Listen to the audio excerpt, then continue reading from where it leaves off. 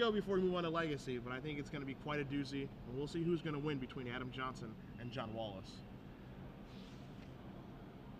John Wallace here, the number five seed, playing against Adam Johnson, the number six seed. Wallace is going to be on the play.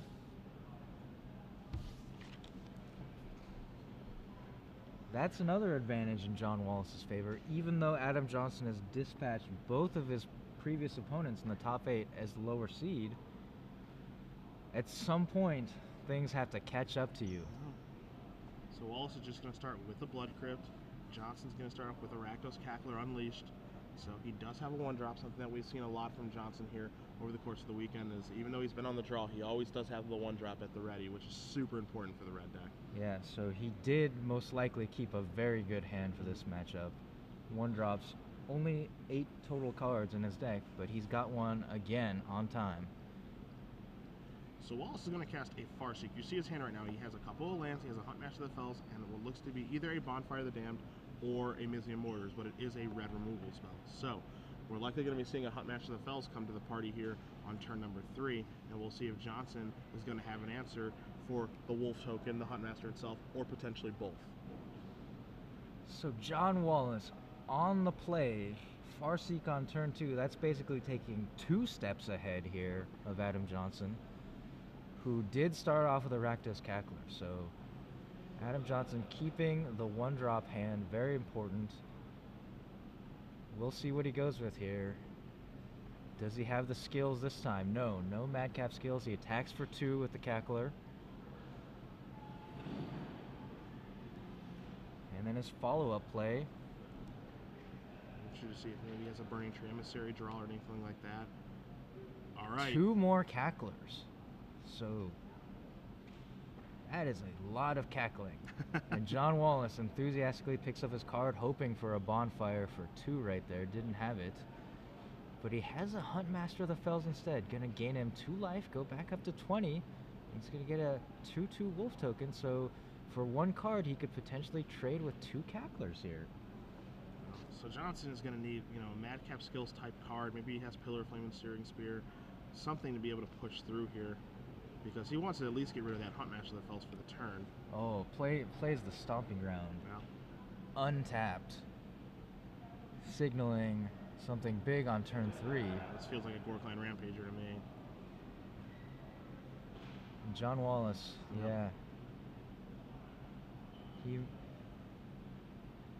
Adam Johnson telegraphing that Ghor-Clan Rampager by playing the Stomping Ground untapped. But remember, that's not a spell. So, Oh, very key. Ghor-Clan Rampager, that is an activated ability. So Huntmaster flips into Ravager of the mm-hmm. Fells, dealing two damage to a Cackler, two damage to Adam Johnson, and becoming a 4 4. not Bonfire the Damned again. Very, very important there. Yeah. You caught it. John Wallace caught it. That could have easily been a trigger that was missed because the Ghor-Clan Rampager Blood Rush feels like a spell. Yeah. So that is absolutely huge there. And now a card that I didn't really think is going to be great in this matchup, Garruk Primal Hunter, actually looks quite good here, just putting out a 3-3 for 5 mana. You know, doing its best Sea-Snid impersonation. But a 3-3 in this board of 2-2s from Adam Johnson is actually really, really good. And that's what he's no Oh, Goes. okay. going for the bonfire for two, playing it safe. Now, do you attack with the Ravager of the Fells here, knowing that there are some hasty creatures in Adam Johnson's deck? Yeah, that's kind of interesting, right? Where you can you can play more aggressive, put Johnson down to 10 and really start to you know get after his life total, or you can play more defensive because you don't want to get hit by a Hellrider and push down to 8 and then put yourself into burn rage. You know, he can just play this game very defensively. He has a Yeah, he Primal says Hunter. go right there. Yeah. That's his hand is not really set up to race at any point if Adam Johnson comes out with haste creatures. Mhm. So he keeps his Ravager of the Fells back on blocking duty very wisely. And it looks like Johnson drew a Hellrider for the turn too. So I actually kind of like this play by Wallace of just sitting back and playing defense because there's no real reason to try to race where you have such good cards in your hand. And he's got two planeswalkers in his hands. Those can't close out the game quickly. So Yep. he's going to go for a little bit of a slower attrition war with those planeswalkers. Keep the Ravager on defense. Wallace shows Johnson Oh, that he oh, wow. drew a Thragtusk and is more than happy to attack with Ravager of the Fells now. Gets in for four, takes Johnson to 10. Thragtusk, John Wallace is going to go back up to 17 life. That is too much life right here for Adam Johnson. And that is, oh my goodness. Is That that, is a- four? That is a hand of four Hellriders that Johnson had in his hand. Actual four, and not a fourth land, so he is going to concede the game. I have never, I've seen a lot of things here in the booth. I've never seen that before. Four Hellriders. Four Hellriders with in three hand? lands on board. Yes, no fourth land. And Adam Johnson is going to concede the game, so John Wallace does win game number one, finger wags and all. As we're going to cut back to the booth here because it is time to give away the full 12 months of premium. Trivia One time? year. Pretty 12 easy. months of StarCityGames.com premium. This time.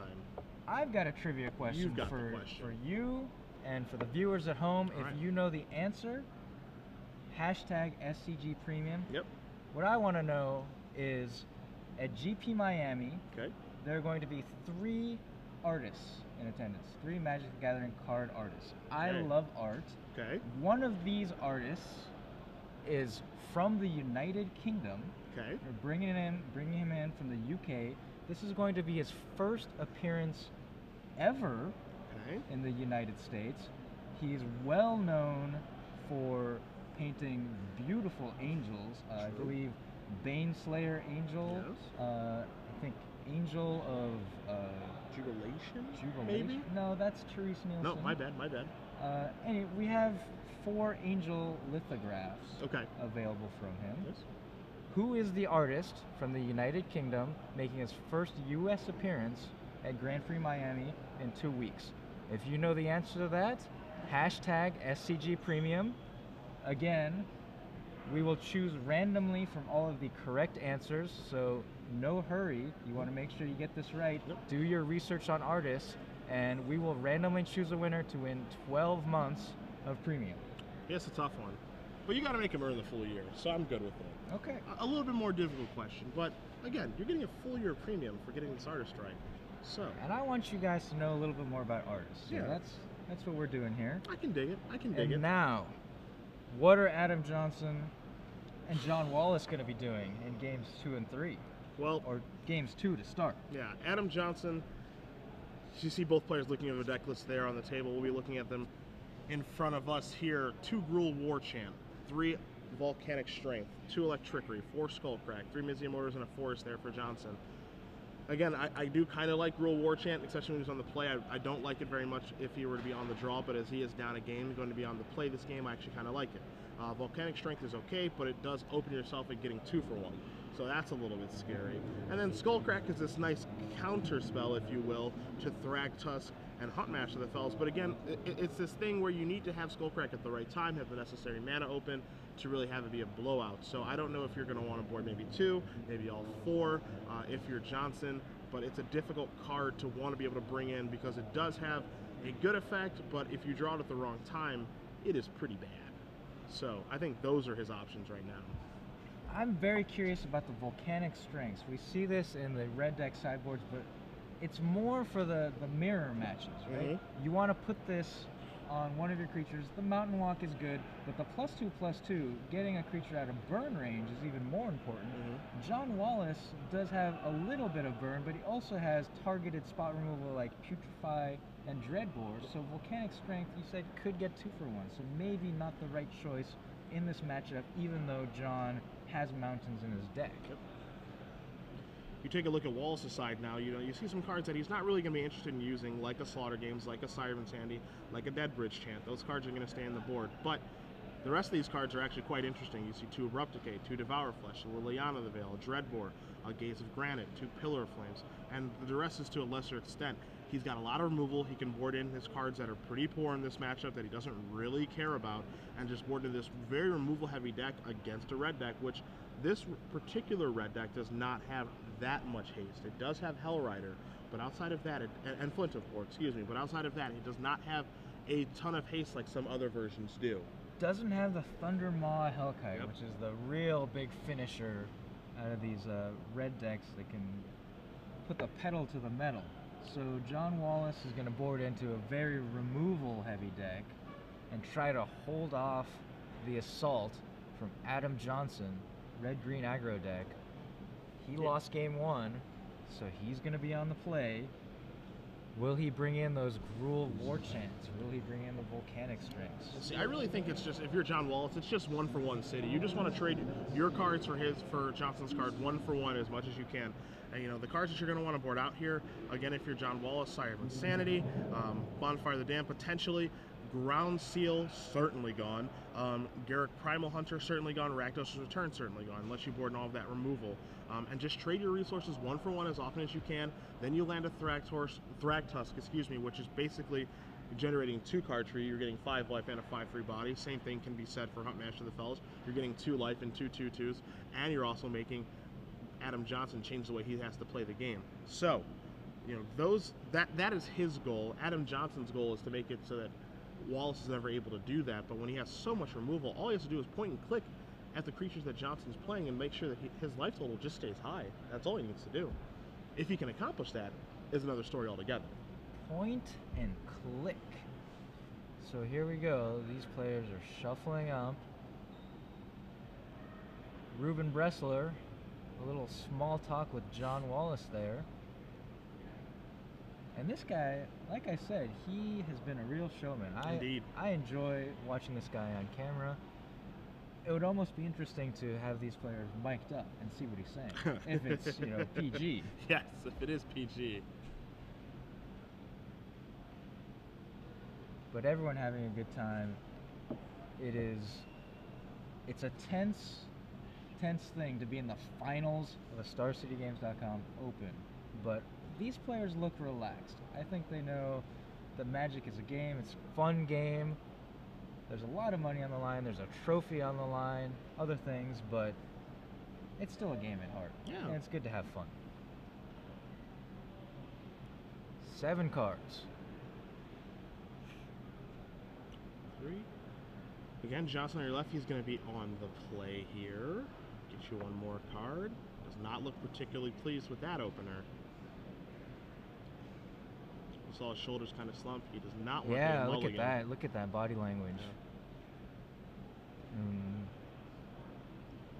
is that a reluctant keep? I think that that feels like a reluctant keep to me. Take a Is he playing it up perhaps? He Does could- he have a hyper aggressive start and He he's just uh, trying to get John Wallace to keep a sketchier hand by pretending that his hand is not very good? Do you go in for that kind of gamesmanship when you Hmm. play? Not often, no. Just play it straight up, let Yeah. the cards play out. It feels like both players have kept hands that they're not incredibly thrilled about. Yeah, John Wallace certainly wears his emotions on his sleeve, Yeah. even though he has no sleeves. and Adam Johnson's actually still deciding if he wants to keep his hand, knowing Still that so much it. is on the line right now. Reuben Bresler takes a peek, so maybe we will see in the text coverage. Yeah. He'll tell us what this hand was and why Adam had to think about it so much. See, in situations like this where I'm thinking so long about keeping or mulliganing my hand, what this my, my thought process here is that I'm thinking this long about keeping a hand. Got I'm trying to right? I'm trying to convince myself to keep a poor hand. Yeah, there he goes. So we think wisely mulliganing young Adam Johnson. But another factor is he could, if, it's say a land light hand with lots of two drops, maybe. He's thinking, he's calculating his odds. How many lands do I have in his deck? Mhm. And Johnson said his lands he had lands and spells that didn't do anything. That was the problem. And Well, know, what if- does that mean at this point? you know, he probably has like a removal heavy hand that involves like searing spears, maybe madcap skills and stuff like that. And, and you know, looking to draw a creature, maybe or had like a real war chant. You know, he did have lands and did have spells, but they didn't actually matter. And if that was the case, um, I actually like a mulligan like that, where you actually need a hand that does do something. This this deck is all action, right? If Well- your spells don't do anything, maybe you accidentally picked up someone else's deck. well, he's happy with his six cards, as well as slowly draws his card. okay, so good mulligan for Adam Johnson, it seems, with the turn one Rakdos Cackler again. I think every game we've had him on camera, he's had a one drop. Pillar Flame's going to take care of it. Now he, he loses two life from the Blood Crypt to take care of that Cackler.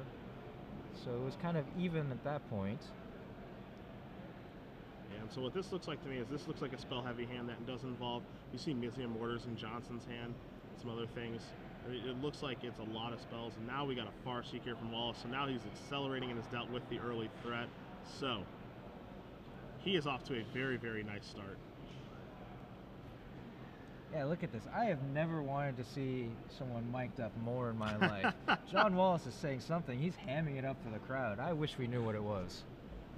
This guy, I can't wait to see if, if, if he does win and he's up one game to zero. If he wins, this is going to be a very interesting interview with Reuben Bresler. I agree. Reuben's going to have to try to keep him in control. so he does far seek, gets a stomping ground. So now he has all sorts of colors available to him. He's accelerated, possibly set up to play another Huntmaster of the Fells on turn 3 hmm It looks like he has Olivia Voldaren in his hand as well, does Wallace. So he's uh he's doing quite well for himself in what again I felt was a pretty favorable matchup. But you know, again, Johnson has won two unfavorable matchups already. He just has land and has to pass the turn back. So That, so that Mizzium Mortars we see in Adam's hand, that's from his sideboard. mhm. Why did he bring those in? So the thought process behind that is that you want to be able to control cards like Vampire Nighthawk, be able to control Olivia Voldaren, be able to control Huntmaster of the Fells. But again, I, the, the thing about that is I don't really think that's going to lead to a win, controlling those cards.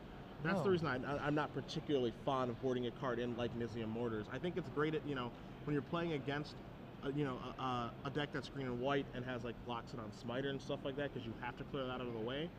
But I, I don't like it against a deck like this one where you need to get off to a fast start and you just want to burn your opponent out because you know, Mizzium Mortar is obviously quite poor against the old Thragtusk here. Yeah, so John Wallace played an Olivia Voldaren. Adam Johnson answered back with a Burning Tree Emissary into the Mizzium Mortars to remove the legendary vampire. But now Wallace has a Thragtusk. He's gained his five life. Wallace asking Johnson, "Where's your Skullcrack?" And the answer is in his hand. but he did not have the mana for Mhm. it to respond to the Thragtusk's triggered ability. And again, that's the reason that I don't love Skullcrack in this matchup from Johnson's deck because it forces you to actually have the mana available and cast at the right time. Because again, if you don't have in your hand when Wallace casts a Thragtusk, or if your mana's down, you know, Yeah. it doesn't really do very much. It's a very poor burn spell if you're not countering some form of life gain. Mhm. And Wallace has snuck his life gain in under the shields of Adam Johnson. And now Thragtusk attacks for five.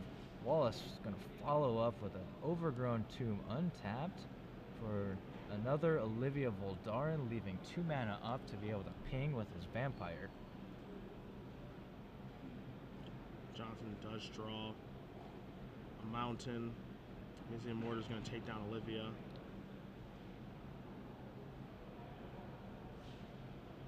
So Johnson boarding in Mizzium Mortars. He's drawn two of them. They've taken care of Olivia Voldaren each time, but not exactly the game plan that the red-green aggro deck wants to be following. No. Yeah, see, that's the big thing is when you draw your sideboard cards, sideboard cards are supposed to have a huge impact in the game. And he's drawn two of the sideboard cards in Mizzium Mortars, and they have been rather low impact in this particular game. He's also drawn at least one Skullcrack, potentially two, and again, those have not had a very big impact on the game either. So, you know, that's one thing that you have to keep in mind when you're sideboarding is you, you draw your, when you sideboard. The, the idea behind sideboarding is you want to draw those cards. That's why you're bringing them in. Uh-huh. So if you're going to bring in cards, they had be they had better be pretty good when you draw them. And we see that Johnson has drawn multiples of his sideboard cards, and they've had little to no effect on the game. He's become too reactionary in this matchup. Mhm. All through the top eight up to this point, Adam Johnson has been the aggressor. He's come out fast. He's hit hard. He's won these matches quickly, but he boarded into more of a controlly, uh, controlly deck here for game two of the finals. And you're not going to outcontrol Jund from the red deck. The red deck just doesn't have, you know, the tools and the resources to outcontrol a Jund deck. Jund's cards are so much better than the red deck's cards. You know, from efficiency, um, just some power level, just everything about Jund versus red you know, th- their cards are just better than yours. So as a result, you have to be hyper aggressive and kill them Yeah. before they're able to cast their better cards against you. You- and that's not what we see happening. You cannot trade one for one with a deck that has Huntmaster of the Fells and Thragtusk. Mhm. That is not just that is not what you want to be doing. So his sideboard here maybe didn't have what he needed for this matchup. Like I would have thought maybe having a few copies of something like Thundermaw Hellkite in your sideboard to be able to go big and finish your opponent off with that big five damage in the air. But no, all he has now is Rakdos Cacklers. Is he going to be forced to leave this as a 1-1 as a chump blocker? Is that what it's come down to for Adam Johnson with the red-green aggro deck? Does not reach for the die. And John Wallace gesturing, saying, "Really, really? Yeah, if that thing is blocking, I've been here before. If uh, if that's blocking, That you are probably not winning. Even in limited, I feel terrible when I have to uh, to leash my unleash cards. Yeah. Like the only one you wanna you wanna do that with is the uh, skeleton guy who regenerates. Ah, yes, the old Grim Roustabout. And now all that Rakdos Cackler can do is buy Adam Johnson another turn against Thragtusk. Now the thing is, of course, is that you know, again, the longer you go against John, the better their cards are that they're going to draw. You see, Wallace draws a Putrefy for the turn to go along with his Abrupt Decay and his Farseek. So, the longer you go, the worse it gets. There's a. Liliana, That gets. That gets discarded to Liliana. Wallace is probably just going to discard that Farseek. Yep. yeah. So now he's left with the two removal spells in hand. He's probably gonna use one of them here. No. A little bit surprised by that. As am I. With with two removal spells in hand, you would think that he would just go with the abrupt decay first, and then hold the putrefy for the follow-up play, and Yeah. dispatch Adam in, in two swings of the Thragtusk here. So he's holding on to those removal spells. I don't know if there's any way that Adam can punish John here. John is at 19 life. That's a lot of life when you only have two cards in hand and a draw step coming up. I don't think there are three spells in the standard format that can that can do that here. So John Wall is still in a very strong position, but curious that he did not use his removal spell on the Rakdos Cackler to get five more damage through and put Johnson at dead. Yeah, I would just want to clear the road. Again, when you when you have multiple removal spells and you have a Liliana that's sitting on two, even though it just got destroyed by a Skullcrack, um, you know, I, I would just want to clear the road, and just get this game over with in two turns instead of three, personally. Here's a Hellrider for Johnson, which we know Wallace does have an answer for. He does, but he's had the, the two answers. Could have abrupt decayed the Cackler and then putrefied this Hellrider. It would have been over. Mm-hmm. He swings in for five. Give Johnson an extra turn, which is something you don't oftentimes want to do when you're playing Magic. You'd like to close the game out, you know, as quickly as you can from a mathematical standpoint. But I don't think it's going to come back and hurt Wallace here. As Wallace shows, he's showing Johnson the uh, skull cracks. the abrupt decay, and So that's wow. yeah, John Wallace yeah. With the Jund deck And he picks up is the trophy 2-0. He is a happy man. John Wallace is your champion. Jund midrange defeats red green aggro, and that is going to be our winners interview. And I got a feeling it's going to be a Oh pretty boy. interesting one. I want to stick around, watch this interview from the